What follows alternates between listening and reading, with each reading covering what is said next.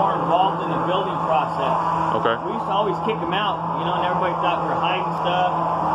And surveys were bad. They said, okay, what can we do better? Mm-hmm. So we started doing frame walks to get them more involved. Homeowners seem to love it. You know what I mean? Right, right. So, with that said, today is an awesome day. I'm telling you. I'm gonna show you some cool stuff about your house that you might might not know. Also, it's just a cool moment to see because in about two weeks, maybe less, mm-hmm. you won't be able to see in these walls. Okay. I'm I'm gonna be trying to drywall as fast as I can, which it's ready. I just gotta get. Certain